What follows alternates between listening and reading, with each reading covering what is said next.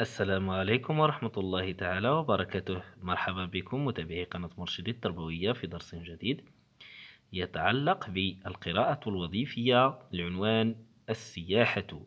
الأسبوع الأول من الوحدة السادسة الصفحة 188 الصفحة 189 في هذا المقطع سنتعرف على أجوبة أسئلة ما قبل القراءة وأسئلة الفهم والتحليل وكذلك أسئلة أركب وأقوم. فتابعوا معنا المقطع إلى النهاية.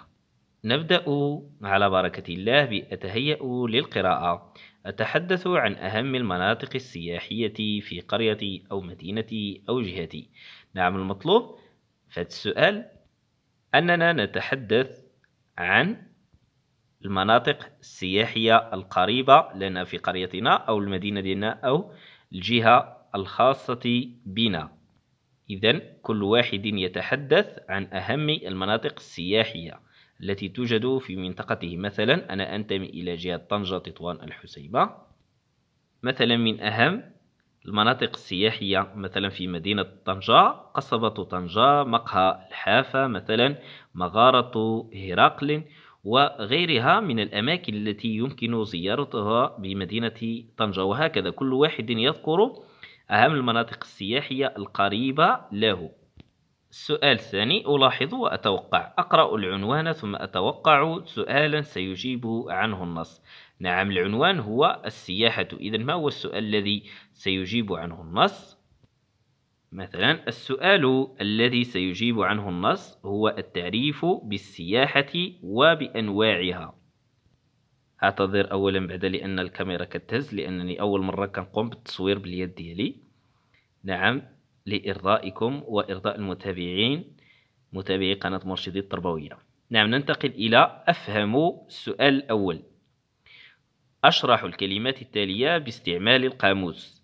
عندنا السياحة الاستقطاب حملات والاحتكاك. نعم للإجابة على هذه الكلمات وشرحها ضروري أننا نستعمل القاموس عربي عربي لشرح هذه الكلمات وفهم معناها. نعم. بالنسبة للكلمة الأولى السياحة هي تنقل الأفراد أو المجموعات من مكان إلى آخر بقصد الترفيه أو التثقيف أو العلاج. الاستقطاب معناه جذب يعني نجذب الناس لمكان معين. حملات هو نشاط يهدف لبناء منشآت سياحية. الاحتكاك هو التعرف على أماكن جديدة.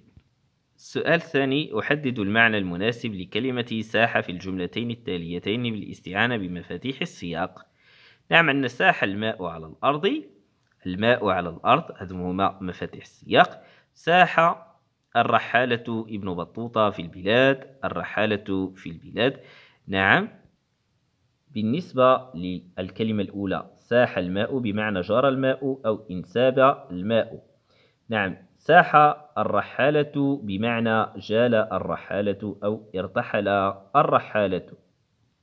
السؤال الثالث عرف الكاتب السياحة بأنها السفر من أجل البحث عن العمل أو السفر من أجل الاستكشاف أو السفر من أجل الاستمتاع أو السفر من أجل الدراسة. نعم في الفقرة الأولى عندنا السياحة هي السفر بهدف الترفيه أو التطبيب أو الاستكشاف أو غيرها من الأنشطة التي تحقق الاستمتاع بدنيا وذهنيا ونفسيا. إذا الجواب هو السفر من أجل الاستكشاف وكذلك السفر من أجل الاستمتاع. نعم ننتقل إلى السؤال الرابع. أحدد الفقرة المناسبة للفكرة الآتية. بيان بعض مشاكل النشاط السياحي.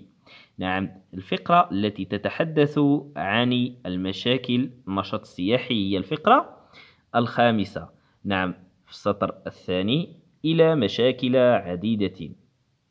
اتفقنا؟ منها تحطيم الكثبان الرملية الرملية الساحلية وغيرها من المشاكل. إذن الفقرة الخامسة. السؤال الخامس أضع أمام كل خدمة سياحية الموظف المسؤول عنها.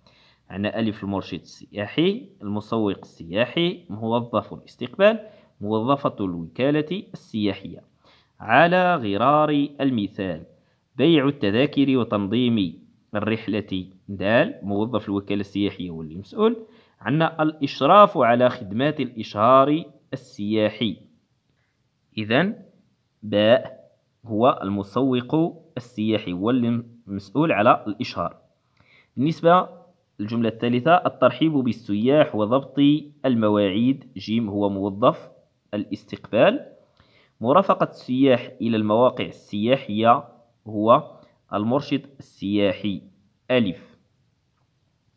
السؤال السادس السياحة الموسمية تكثر بالمناطق الأثرية أو الجبلية أو الشاطئية. نعم ننتقل إلى الفقرة الرابعة. عندنا لكن معظم الأنشطة السياحية موسمية بحيث تكون الزيارة لمكان ما مكثفة في موسم معين وخاصة شواطئ البحار. إذا تكثر بالمناطق الشاطئية.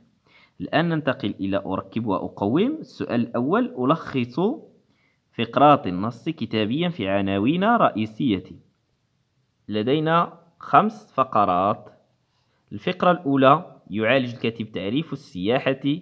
الفقرة الثانية أعطانا أنواع السياحة.